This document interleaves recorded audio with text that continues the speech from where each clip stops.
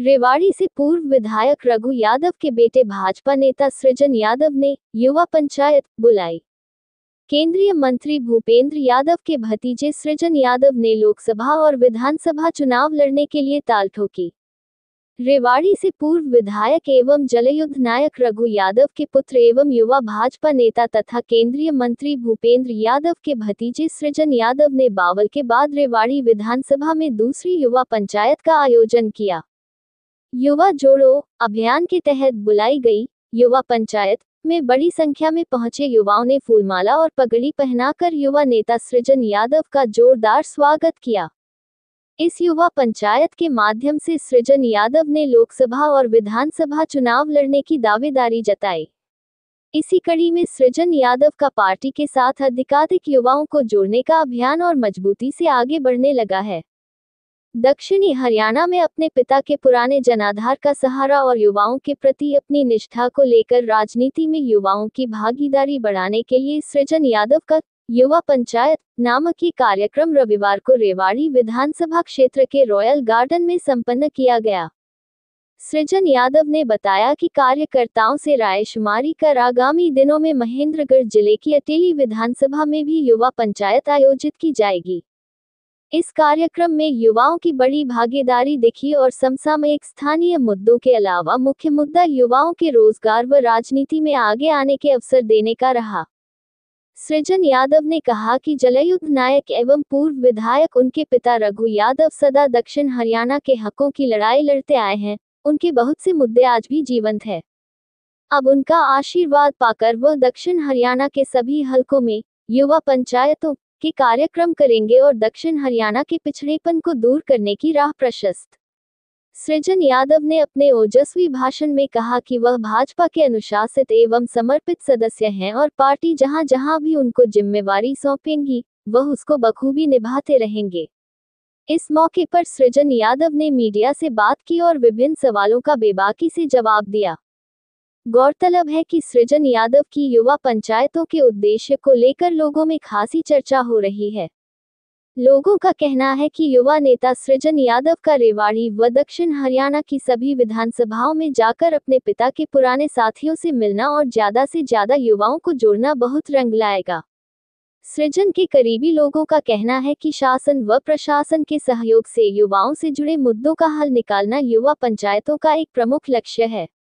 युवा पंचायतों में सृजन युवाओं से जुड़ी समस्याओं जैसे रोज़गार, उच्च शिक्षा इंफ्रास्ट्रक्चर आदि समस्याओं के समाधान का आह्वान करते सुनाई दिए। सृजन यादव ने कहा कि युवा पंचायतों का मंच सभी युवाओं के लिए एक ऐसा वृक्ष होगा जो न केवल सभी युवाओं को बिना जातिगत और सामाजिक भेदभाव के एक समान छांव देगा, बल्कि समय आने पर फल भी देगा। इस मौके पर सृजन यादव के साथ Manpriya Yadav advocate secretary bar association Rewari, Shivcharan Negi, Bhavesh Vashishth, Jaivir Bikaner, Sajan Yadav, Bhagirath Mirpur, Anoop Majra Sheraj, Sundar Dharuhera, Bhagat Kakoriya, Gajendra Ramgarh, Satendra Goyal, Vinay Bansal, Mansingh Dhakiya, Hansraj Salawas, Balram Chhawari Bulla, Sandeep Yadav, Ajit Yadav R W प्रधान धारूहेड़ा ओम प्रकाश नारंग, नवदीप आर्य आदि अनेकों युवा मौजूद रहे।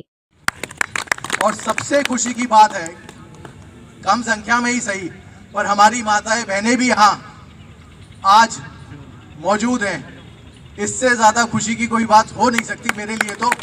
आज दो है, तीन है, इस संख्या को बढ़ाते बढ़ाते हम और आगे ले जाएँगे। और मैंने तो यही सुना है कि कहता है, जिस घर में लक्ष्मी नहीं, जिस घर में सरस्वती नहीं जिस घर में पार्वती नहीं, जिस घर में सीता नहीं, वो घर घर नहीं। तो आपका यहाँ पहुँचने पर बहुत ही मैं हाथ जोड़कर दोनों हाथों से बहुत शुक्रिया करता हूँ। जब हमने ये फैसला किया कि हम पूरे दक्षिण हरियाणा में जाएँगे, अपने युवा साथियों से मिलेंगे और संवाद करेंगे, क्योंकि बात खाली रेवाड़ी की नहीं है। मेरे पिता का एक बहुत बड़ा संगठन रहा है, बहुत मज़बूत संगठन रहा है। वो लेकर गोद बलावा से लेकर डूडा हेड़ा तक, और इधर महेंद्रगढ़ में आकोदा से लेकर बावल में चांदूवास तक। कोई गाँव ढानी ऐसा नहीं रहा, जहाँ उनके पुराने संघर्ष के साथी मौजूद आज भी ना हो।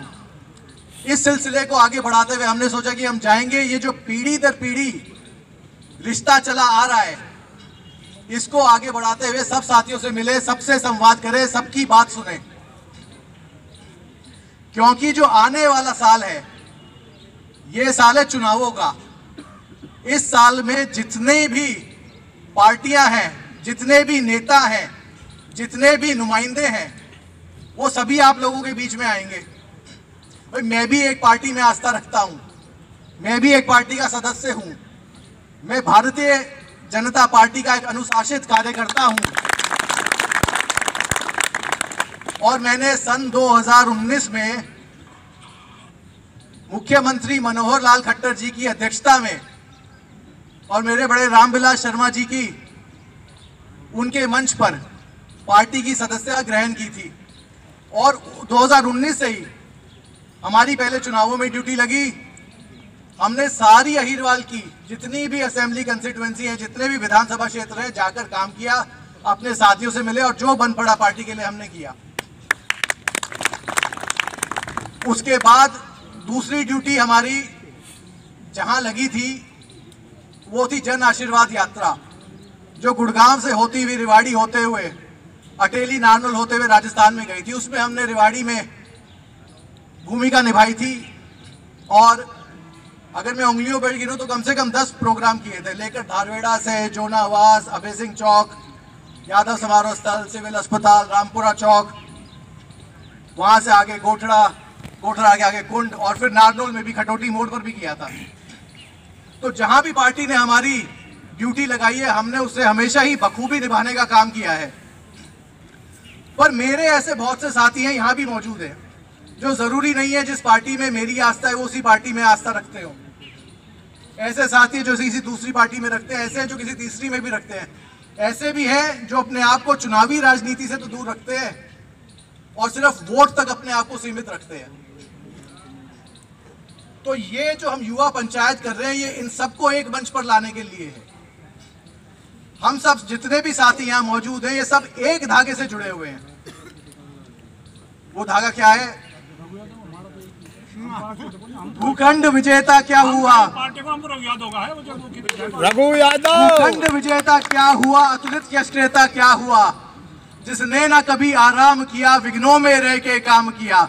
वो वो धागा है रघु यादव और उनके साथियों का किया गया इस इलाके के लिए संघर्ष।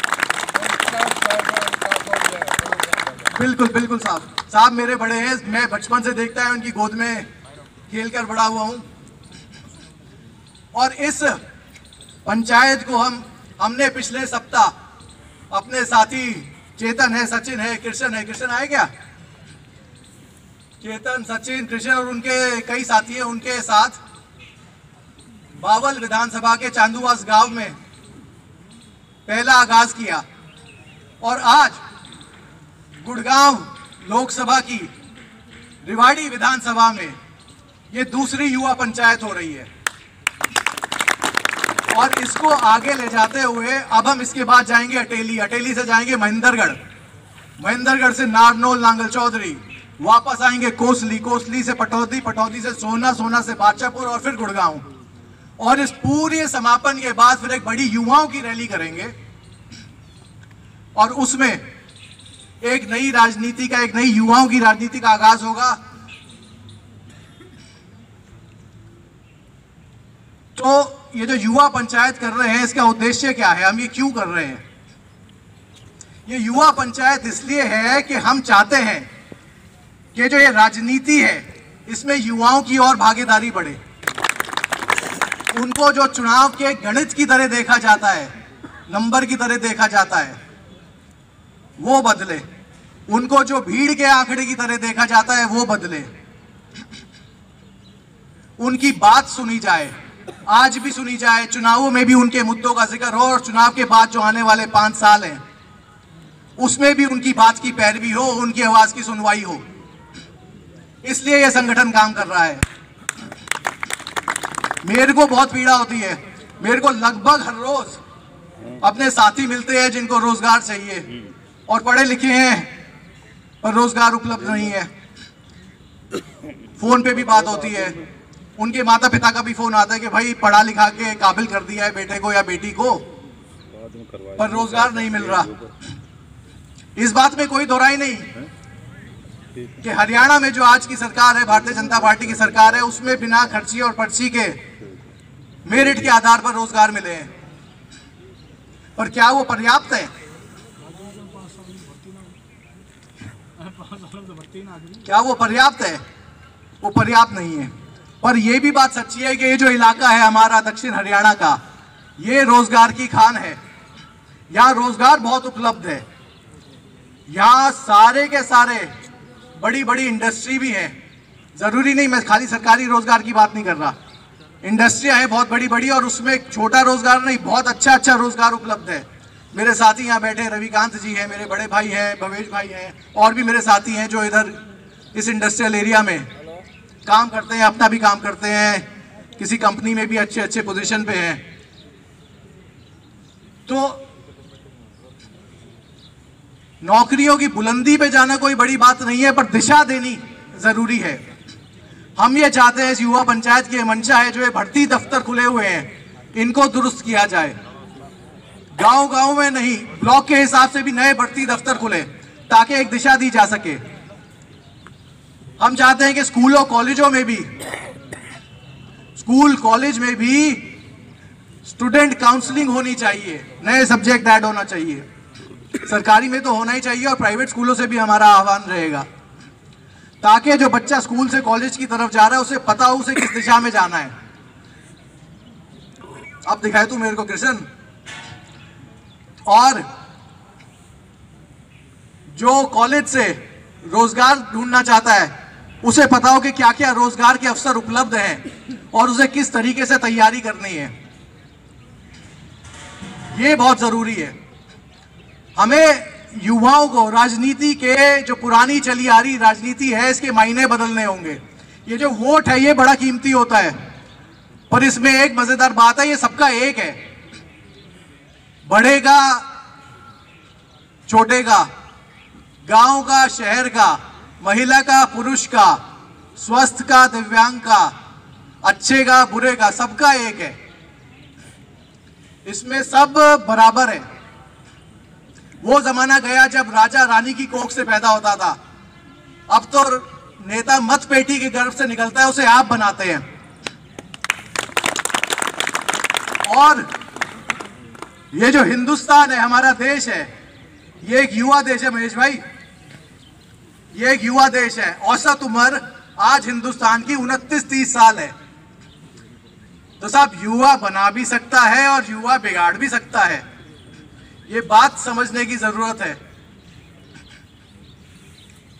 और हंसराज भाई बैठे हैं, बलवान भाई बैठे हैं, शीशपाल जी बैठे हैं, मेरे महेश है, दिनेश है, लालचंद है, और मेरे से छोटे भी हैं, कहाँ हैं वो? अजीत और बाकी अजीत त्यागी कहाँ हैं भाई? एक लव्य है, और भी साथी हैं। तो एक बात मैं कहना चाहूँगा आप सबके लिए, आपको भी हम युवा में गिनते हैं दो चार साल ही बड़े हो हो युवा ही। और युवा वैसे भी सोच से होता है, साहब उम्र से नहीं होता। झुकते हैं पर्वत भी कभी कभी रुकते हैं दरिया भी कभी कभी पर झुकती नहीं जवानियाँ और रुकती नहीं रवानियाँ। तलवार की धार पर इतिहास हमेशा बनता है, जिस और जवानी चलती है, उस और जमाना चलता है। जो मेरे साथी जो मेरे युवा साथी राजनीति में इच्छुक हैं, उनको मैं कहना चाहता हूँ कि भाई, एक तो पहले आपको देखना पड़ेगा कि आपको किस तरह की राजनीति करनी है। कि आपको किस तरह की राजनीति करनी है। क्योंकि कोई भी पार्टी आपको एमएलए बना सकती है, एमपी बना सकती है, पार्षद भी बना सकती है और चेयरमैन। और साहब, आपको नेता तो आपके इलाके के लोग, आपके साथी, आपकी जनता और उनका प्यार ही बना सकता है। मैं भी पार्टी में हूँ, मैंने पहले कहा है, खूब निष्ठा से काम करता हूँ और पार्टी आगे भी जहाँ ज़िम्मेदारी लगाएगी, खूब निष्ठा से ही काम करूँगा। पर उसके साथ साथ मैं आपकी चिंता भी करता हूँ, क्योंकि मैं इस इलाके का ऋणी हूँ। इस इलाके ने मेरे पिता को जितना प्यार दिया, मेरे पिता को जितना सम्मान दिया, मुझे नहीं लगता कभी किसी और को दिया है। इस इलाके के लोगों ने कंधे से कंधा मिलाकर, कदम से कदम मिलाकर उस संघर्ष में हिस्सा लिया है। इस इलाके के हक हिस्से और हिसाब की लड़ाई लड़ी है। और मैं उन सबका रेडी हूँ। वो बात हो, चाहे रेवाड़ी जिला बनाने की, कमल अंकल ने सारी बातें बताई हैं। जब लोग कहते थे, रेवाड़ी जिला बनने लायक ही नहीं है तुम्हारा। तब रेवाड़ी को जिला बनाया था, जो आज भी सहूलियत मिलती है लोगों को। कहीं दूर दराज जाना पड़ता था। बात हो रीजनल सेंटर की, जब रीजनल सेंटर खुला था जो आज, या हमारे भागीरथ और दिनेश के गाँव में यूनिवर्सिटी है, मीरपुर यूनिवर्सिटी है।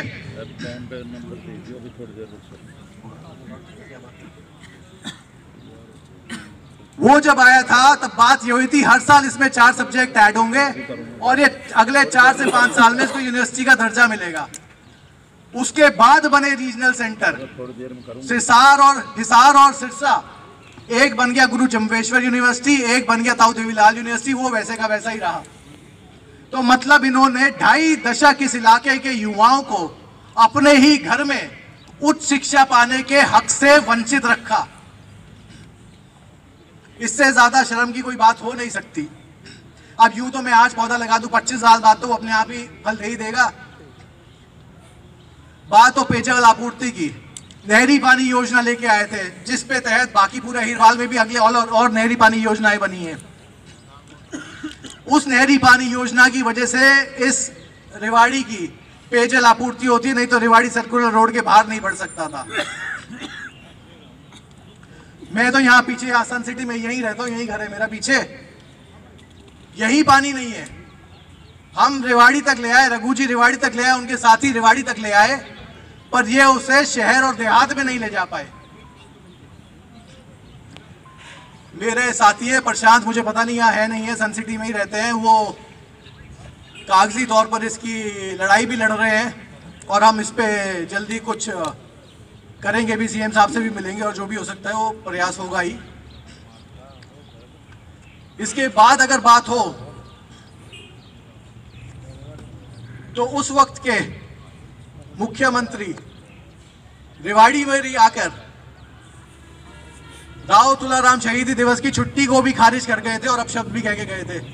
रघु यादव, वो पहला आदमी था जिसने विधानसभा में आवाज़ उठाई और उस छुट्टी को बहाल कराया और इस इलाके को, इस इलाके की शहादत को वो सम्मान वापस दिलाया।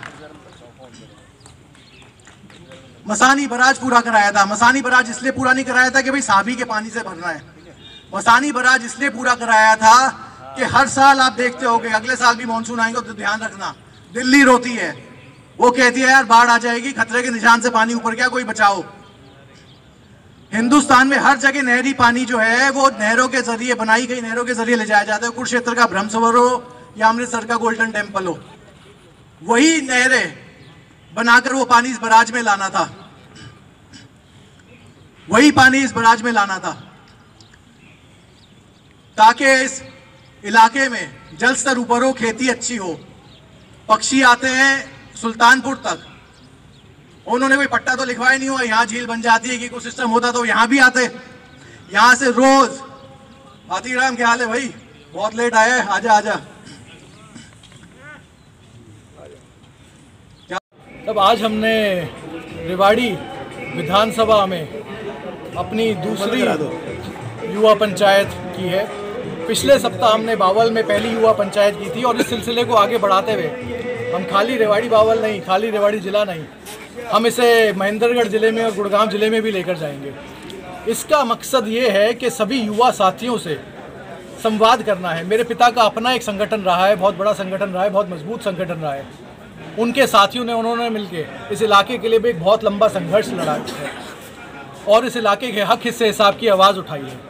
वो ज़िला बनाने से लेकर, ये जो आज यूनिवर्सिटी बनी है, इसका रीजनल सेंटर खुलवाना, मसानी बराज पूरा कराना, इस इलाके की शहादत को सम्मान दिलाना, हीर मैनेजमेंट का मुद्दा उठाना, ऐसे अनेकों मुद्दे हैं जो उन्होंने उठाए थे। कुछ पूरे हो चुके हैं, कुछ अभी आधे अधूरे हैं और कुछ को हम अब शुरुआत करके उनकी, युवाओं की भागीदारी राजनीति में कैसे बढ़े, इस पर संवाद करने के लिए निकले हैं और हमारे संगठन में बहुत युवा जुड़ चुके हैं।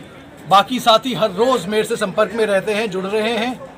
ये गैर राजनीतिक संगठन है आज की तारीख में, पर ये वो संगठन है जो इस इलाके का युवा या इस इलाके के हमारे जो बुज़ुर्ग हैं, बड़े हैं, वो किसी राजनीतिक पृष्ठभूमि से आए, पार्टी लाइन से हटकर भी उनके लिए, उनकी सुविधा के लिए जो भी प्रयास करना पड़े, वो हम लोग करेंगे। और यही इस पंचायत का युवा पंचायत का उद्देश्य रहेगा। सर सब ये तो मैंने कहा अभी भी कि मैं पार्टी का अनुशासित एक कार्यकर्ता हूँ। बाकी तो जितने भी लोग हैं सब पार्टी में किसी ना किसी के पास कोई पद है। मैं तो काम भी कार्यकर्ता की हैसियत से करता हूँ। और वो जहाँ भी हमारी ड्यूटी लगी लेके 2019 से आज तक हमने और हमारे साथियों ने बखूबी निभाई है। तो ये तो पार्टी बताएगी कि कौन सा चुनाव लड़ना है। बाकी हमने सदा चुनावी राजनीति को देखा है, समझा है तो चुनाव ज़रूर लड़ेंगे। सब भाजपा की जो प्रणाली है, जिस तरीके से भाजपा एक परिवार की तरह काम करती है, उससे मैं प्रभावित था। मेरे अपने बड़े भी भाजपा में, रामविलास जी हो, या और भी कई लोग हैं। वो पार्टी में हैं जो रघु यादव के संघर्ष के साथ ही रहे हैं। लेकिन रघु यादव जी तो कभी बीजेपी में उन्होंने कभी किसी तरह का इम्पोर्टेंस ही नहीं दी उन्होंने। रघु जी सब एक खाली व्यक्ति की बात नहीं है। रघु यादव अपने आप में ही व्यक्तित्व है। जो भी व्यक्ति वो भले किसी पार्टी से आता हो कहीं से भी आता है जो इस इलाके के भले के बारे में सोचता है जो इस इलाके की पीड़ाओं को समझता है उस हर व्यक्ति में वो भले किसी पार्टी का हो किसी पृष्ठभूमि से आता हो वो किसी बिरादरी से उस सब में रघु यादव बसता है। और रघु यादव जैसा बोलने वाला व्यक्ति सच्ची बात तो ये है अब आप मेरे से सारी बातें कैमरे पे बुलवा दोगे वैसा व्यक्ति किसी पार्टी को चाहिए नहीं। जो व्यक्ति आकर वो कहते हैं यार ये आएगा फिर ये पानी भी मांगेगा रोज़गार भी मांगेगा हिसाब भी मांगेगा कहाँ से देंगे? विरोध की बात नहीं मैंने कहा विरोध किया? मैं तो अपनी युवा पंचायत की आपको बता रहा हूँ। मैं पार्टी में हूँ मैं पार्टी का अनुशासित सिपाही हूँ पार्टी के लिए काम करता हूँ पर मैं अपने लोगों की चिंता भी करता हूँ। मेरे को अपने लोगों की चिंता करने से तो कोई नहीं रोक सकता। मैं बोलूँ भी ना। भाई बोलेंगे तभी तो बात बनेगी। रघु यादव जी ने सब रघु जी और उनके साथियों ने सदा हरियाणा के हिस्से के पानी की लड़ाई लड़ी है। और एसवाईएल का मुद्दा एक ऐसा मुद्दा है जो बहुत लंबे समय से चले आ रहा है। इसका तो जब निवारण होगा, तब होगा। ये तो सरकारों के हाथ में है। जिसके हाथ में कलम है, ये तो वही कर सकता है। पर जो रघु जी कहते हैं कि इस प्रदेश में इतना पानी अभी भी उपलब्ध है कि कहीं सेम हो रही है, कहीं सूखा है। अगर उस पानी का समान नहीं, समुचित बंटवारा भी कर दिया जाए तो हर खेत की प्यास बुझाई बुझाई जा सकती है। यहाँ के विधायक मैंने तो कहा ही है आप रेवाड़ी को देख रहे हैं। विधायक हो या ना हो कोई खास फ़र्क पड़ता नहीं। ये तो वही काम है जो कोई तीसरा भी होता कोई चौथा भी होता तो भी हो जाते। बात तो तब बनती है काम तो उसे माना जाता है जिसका फ़ायदा इमीडिएट आज आपके लोगों को पहुँचे और वो पीढ़ी दर पीढ़ी चले। जैसे रघु यादव और उनके साथियों ने किया था। रेवाड़ी में सन 89 के बाद सन 90 के बाद मैं कहूँ तो कोई विधायक हुआ ही नहीं कभी। विधायक तो हुआ ही है कि आज तक रेवाड़ी में जिसका नाम रहा है रघु यादव। इस्तीफा दिया तो कहीं गलती तो नहीं थी उस समय? नहीं साहब बिल्कुल गलती नहीं थी। इस्तीफा दिया। ही लोगों के हक हिस्से के लिए था इस्तीफा दिया था रोज़गार के लिए। और ये कह के दिया था कि मैं जा रहा हूँ और अपने जैसे दस लेके आऊँगा। वो दिक्कत ये हुई कि वो दस नहीं मिले पर वो संघर्ष तो जारी रहा। और खाली एम पी बनना राजनीति नहीं होती। नेता बनना अपने लोगों की आवाज़ उठाना अपने लोगों के मुद्दे उठाना उनकी पीड़ा को बयां करना। ताकि दिल्ली और चंडीगढ़ दोनों की पंचायतों में वो मुद्दे गूंजे उनकी सुनवाई हो। ये ज़रूरी है। हम भी इसी राजनीति को देख के राजनीति में आए और इसी तरह की राजनीति पर चलने का प्रयास रहेगा। अब सृजन यादव अपनी युवा टीम तैयार कर रहे हैं। तैयार नहीं कर रहे साहब तैयार है। मेरे मेरा तो मैंने बताया गोद बलावा से लेकर डूंडा हेड़ा तक। और अकोदा से लेकर झाबुआ तक, कोई गाँव ढानी ऐसा नहीं जहाँ मेरे पिता के पुराने साथी ना हो। और वो रिश्ता पीढ़ी दर पीढ़ी चला आ रहा है। पहले दादा थे, फिर उनके बेटे आए उनके बेटे हैं। आज भी सब साथी उसी दिल से जुड़े हुए हैं और सब एक मिलकर संघर्ष कर रहे हैं। और अब आप देखते जाइए, अभी तो बावल में किया था, आपने देखा होगा। आज रेवाड़ी में किया है, आपने देखा है। जब हम आगे आगे जाएँगे तो कारवा कैसे बढ़ेगा? तो अभी आगे का क्या प्लान? अभी युवा पंचायतें करेंगे सब साथियों से संवाद कर रहे हैं इसको एक संगठन का रूप देंगे। और फिर सब साथियों के साथ बैठकर चर्चा कर कर क्योंकि खाली मेरी पंचायत नहीं है ये सभी की पंचायत है इसमें कोई कार्यकर्ता नहीं है इसमें सारे साथी हैं भागीदार हैं हिस्सेदार हैं। सब मिलकर फैसला लेंगे क्या करना है कैसे आगे बढ़ना है। चुनाव लड़ने का मन भी चुनाव तो लड़ना ही साहब तय अगर बीजेपी टिकट नहीं देती है तो क्या वो नहीं देती देती है तो बात की बात है। मैं तो यही कह रहा हूँ टिकट तो उसी को मिलेगी। जो संघर्ष करेगा, जो पार्टी का मज़बूत कार्यकर्ता होगा, पद तो मेरे पास है नहीं, पद तो मैंने कभी लिया भी नहीं, मुझे दिया भी नहीं। तो मैं तो कार्यकर्ता की हैसियत से काम कर रहा हूँ और करता रहूँगा, पूरी निष्ठा से करूँगा, जहाँ ड्यूटी लगाएगी, बखूबी करूँगा। और मैं नहीं, मेरे सारे साथी मेरे साथ मिलकर करते हैं।